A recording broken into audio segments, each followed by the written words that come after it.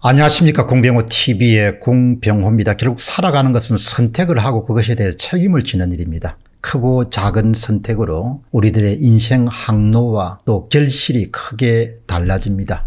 한 공동체의 선택도 마찬가지입니다. 구한말 제국주의가 세상을 뒤엎을 때 일본의 선각자들은 개화가 살 길이라는 것을 일찍부터 눈을 떴습니다.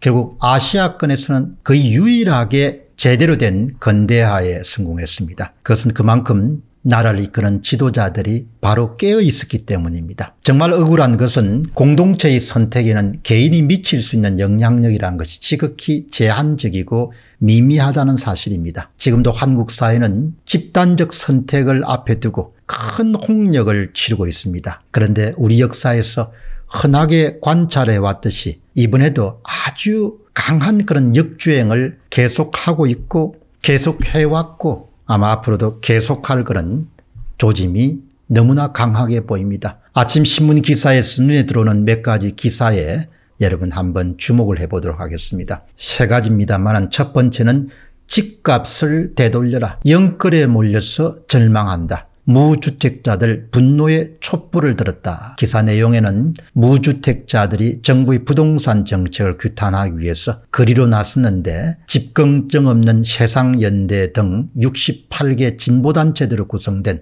무주택자 공동행동 일명 공동행동은 10월 13일 날 오후 5시 30분 서울 종로구 보신각 앞 광장에 촛불 집회를 열었고 문재인과 민주당은 폭등시킨 집값을 원상회복하라 이렇게 외쳤습니다. 그런데 이들이 내세운 정책이라는 것이 대안이라는 것이 대단히 사회주의적입니다. 부동산 보유세 강화는 물론이고 비노금인의 농지 소유 금지 공공임대주택 확대 임대사업자 특혜 폐지 재벌의 부동산 소유 제한 5대 요구안입니다. 저는 이런 생각을 했습니다. 그들은 집값 폭등의 배경에 무자비한 반시장적인 정책이 주요 요인이었다는 사실을 모르는 것일까 알면서도 딴 이야기를 하는 것일까 시위 기사를 보고 최상현 시민이란 분이 이렇게 이야기합니다.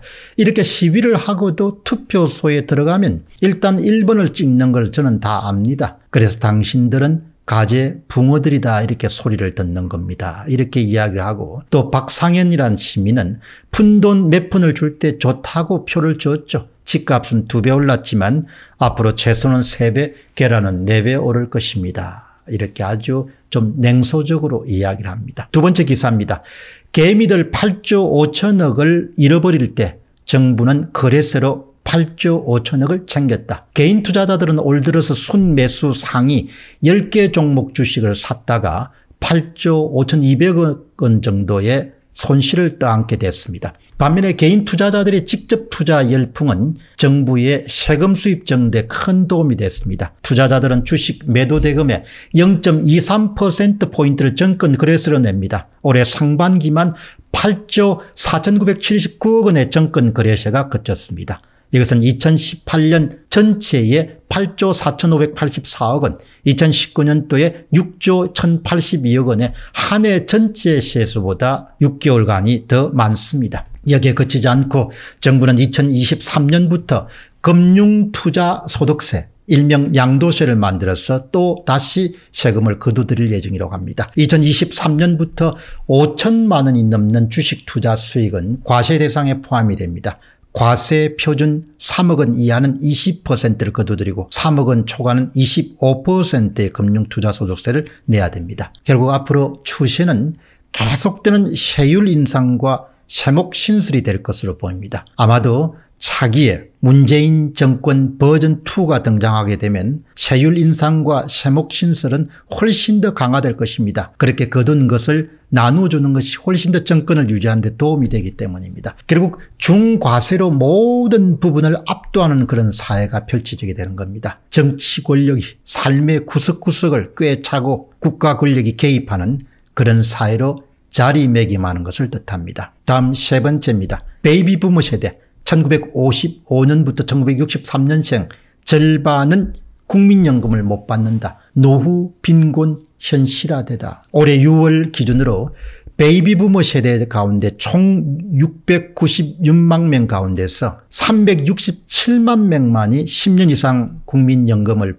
보험료를 납부해서 연금 수급권을 확보하고 있다고 합니다. 이 세 가지 기사를 대하는 시청자들은 저마다 다른 의견을 내놓을 것입니다. 보는 관점이 서로가 다르기 때문입니다. 저는 세 가지 기사에서 이런 단어를 자연스럽게 떠올리게 됩니다. 정치, 정치 권력, 집권 세력, 정책 이런 단어들이 자연스럽게 떠올랐습니다. 국민을 어려워하는 권력이라면 정책을 집행함에 있어서 절제를 생각하게 될 것입니다. 견제와 균형이 작동하는 사회에서는 무리한 반시장적인 정책을 밀어붙일 수가 없습니다. 그리고 국민들의 부담을 크게 키우는 그런 아주 나쁜 정책을 밀어붙일 수 없습니다. 그러나 견제 기능이 상실되어 있거나 브레이크 시스템이 작동되지 않는 사회라면 폭정에 가까운 정책들이 무분별하게 사람들을 옥죄고 괴롭히게 될 것입니다. 시민 나채영님은 이렇게 주장합니다. 저는 실수요자이고 문재인 정권이 아니었다면 30평대 아파트를 대출 1억 원 정도를 내서 구매했을 것입니다. 계획을 세워서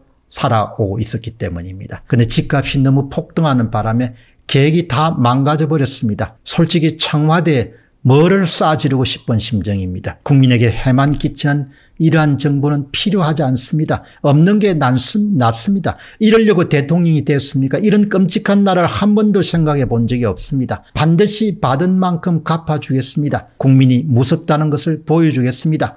기대하시기 바랍니다.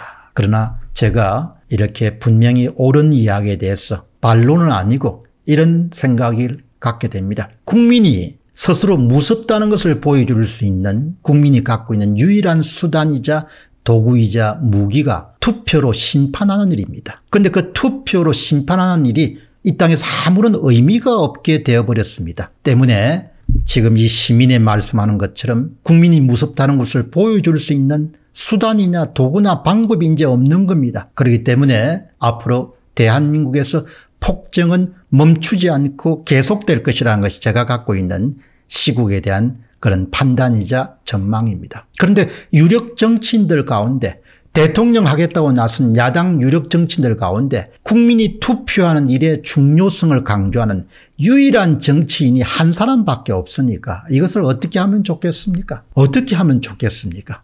아무리 인기가 있더라도 그냥 선거를 결과를 만들 수 있는 시대가 되어버렸는데 어떻게 국민들이 잘못하는 사람들을 벌을 줄 수 있겠습니까? 국민들을 무서워할 수 있도록 그렇게 만들 수 있겠습니까? 다 세대 교체니 정권 교체니 야당 집권이니 이게 다 헛소리란 겁니다. 그런데 이런 체제 하에서는 결국 정권 교체가 불가능하다고 유일하게 강하게 믿고 그것에 대해서 확신 있게 이야기한 사람은 한 명밖에 없으니 어떻게 하면 좋겠습니까? 공병호 TV의 공병호였습니다. 감사합니다.